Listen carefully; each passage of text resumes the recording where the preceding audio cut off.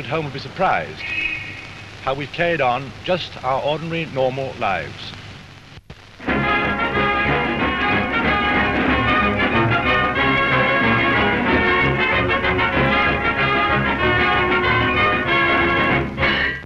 Gar Wood on the left, the Silver Fox of speedboat racing, expects to retain the Harmsworth Trophy in his giant Miss America 10.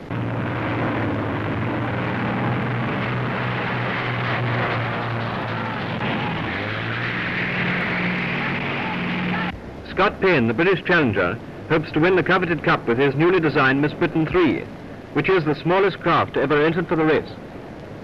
There are three heats, each run over about 40 miles on an oval eight-mile course. The trophy has been held by the United States since 1920